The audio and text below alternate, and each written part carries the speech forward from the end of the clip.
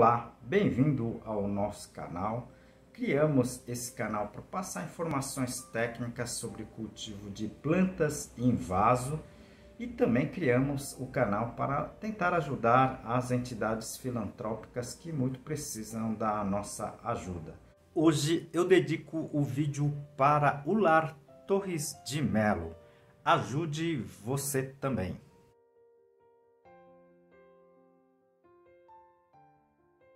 Peço a sua ajuda também para o nosso canal. Né? Clique no joinha, inscreva-se no canal, compartilhe e tecle no sininho. Isso ajuda muito o nosso trabalho. Hoje eu vou falar de um produto um pouco inusitado, né? Mas como são algumas pessoas que sempre me perguntam isso, eu decidi fazer esse vídeo tá na íntegra para todo mundo uh, entender esse, esse produto e se isso realmente dá certo ou não, tá certo? É, esse produto é a aspirina como suplemento para as plantas em vaso. Isso realmente funciona?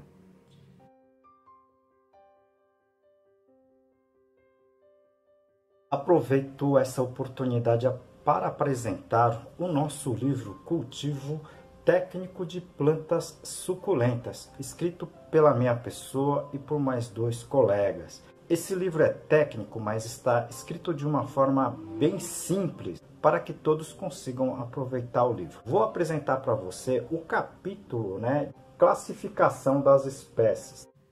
Bom, é, como eu disse para vocês, é, é, é uma pergunta inusitada, mas quatro pessoas já me mandaram pergunta, por isso que eu estou passando aqui algumas informações sobre a aspirina, tá certo?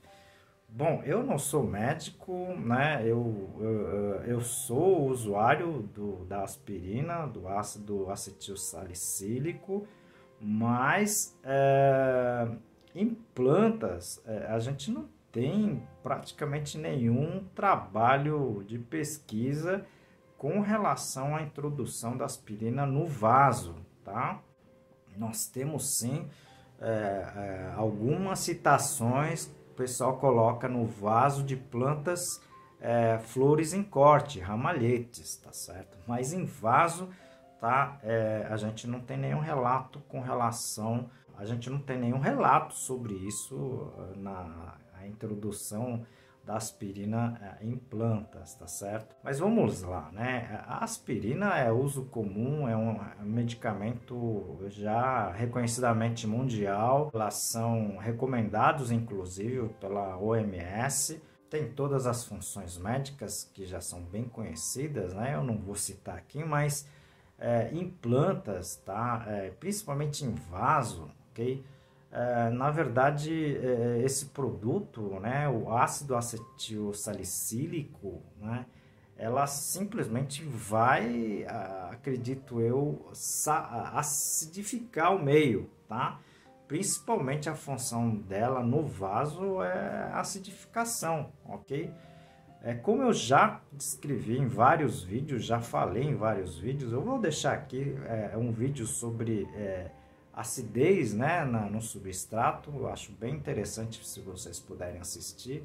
É, acidez, principalmente esses ácidos mais orgânicos, né, elas são benéficos para, a, para o sistema substrato plantas. Tá? É, no caso do solo, no caso do campo, né, é, a visão, o entendimento é um pouco diferente, mas no caso dos vasos que estão sendo as plantas sendo cultivadas em substratos, essa acidez, principalmente da forma orgânica, ela é benéfica, tá certo? Então, dessa forma, eu acredito que o, que o que a aspirina possa possa ter, possa estar contribuindo, tá, positivamente com relação à planta, tá? Agora, se ela vai, é, na verdade, é, enraizar mais ou se ela vai auxiliar no crescimento das plantas, né? Isso não tem nenhuma prova uh, concreta sobre isso, tá? Então eu não vou conseguir falar nada sobre uh, essa parte, digamos assim, fisiológica, bioquímica da aspirina com relação à planta no seu crescimento, no seu desenvolvimento, tá certo? Mas eu sei que tem gente que fica aplicando não somente aspirina, como outros produtos farmacêuticos nas plantas, né? Olha, nesse caso, eu acredito que se você for fazer esse tipo de coisa, né, você pode doar a, esses remédios para entidades né, filantrópicas, como a gente sempre comenta aqui. Eles sempre precisam, tá? inclusive, de, de remédios de uso geral, que é o caso. Né?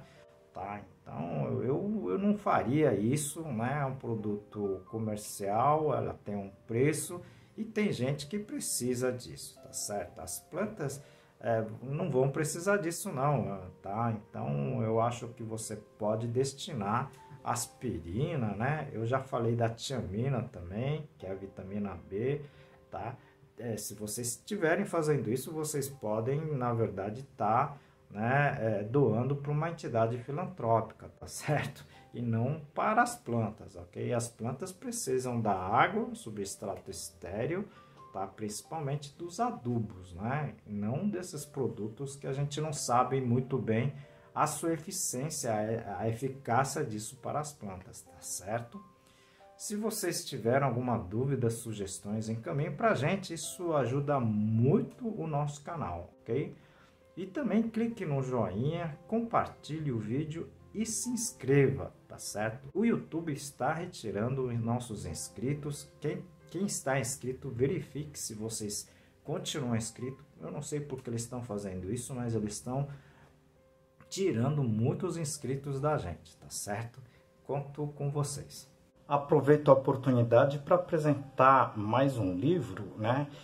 Esse livro de cultivo moderno de orquídeas é, da espécie Phalaenopsis e seus híbridos. Esse livro está em 12 capítulos, com uma linguagem muito simples, acessível. Como em todos os vídeos, é, nós dedicamos é, é um espaço né, é, para uma entidade é, filantrópica. E hoje estamos dedicando para o Lar Torres de Melo. Esse lar acolhe né, principalmente é, velhinhos e velhinhas né, que praticamente são abandonados né, e é, essa entidade é, dá toda assistência a eles. Então, se você puder doar alimentos não perecível, até mesmo perecível, tá? Roupas usadas, ok? Tudo que você puder doar, tá? Esta entidade agradece, ok? Conto com a sua ajuda.